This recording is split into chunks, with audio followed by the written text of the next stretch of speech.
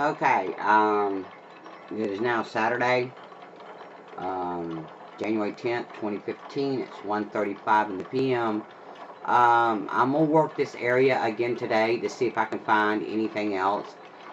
And then I was told earlier that there's more in other chapters. And I'm going to work that as well and see what I can come up with. I still think there's a way if we could just figure out, piece it all together, like I said before. Maybe. I don't know. I just know that I went through a lot of freeze-ups on this one. But, you never know if you hit that right tremble. And it can go through. You don't never know in this game. Sometimes some things don't work. And then all of a sudden you do something different, not even meaning to. Boom, then it works. So, you know, expect anything. That's what I do.